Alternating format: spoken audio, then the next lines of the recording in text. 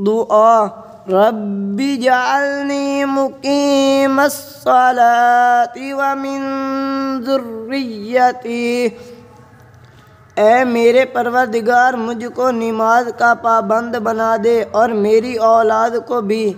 रब्बना व तकब्बल दुआ। और हमारे परवरदिगार, मेरी दुआ कबूल फरमा।